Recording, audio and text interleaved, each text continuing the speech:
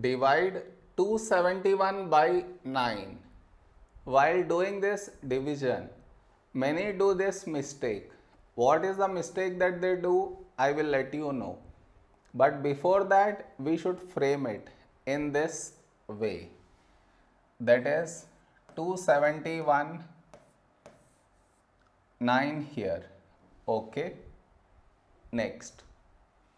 Now here we have 2, 2 smaller than 9, so we take two numbers that is 27. When do we get 27 in 9 table? 9 3s 27. Now you subtract. 27 minus 27 is 0. Now we bring down the beside number that is 1 down. This is where the mistake happens. And the mistake is this. Here we have 1. Here 9. 1 is smaller than 9. So what many do is they put a dot and take 0 here which is wrong.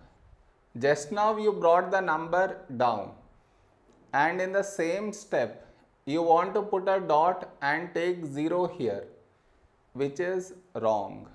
I repeat bringing the number down and putting a dot and taking 0 both at the same step you are not supposed to do. Instead what you should think of is what number should we write here? If we write 9 here that is larger than 1. So what we do is we take 0 here. So 9 into 0 0. Now you subtract 1 minus 0 1.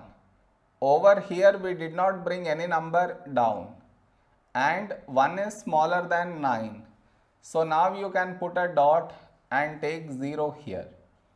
So here 10, a number close to 10 in 9 table is 9 ones 9.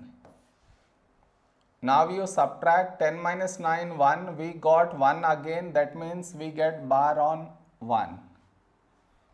Did you understand where mistake happens? You should not do that mistake.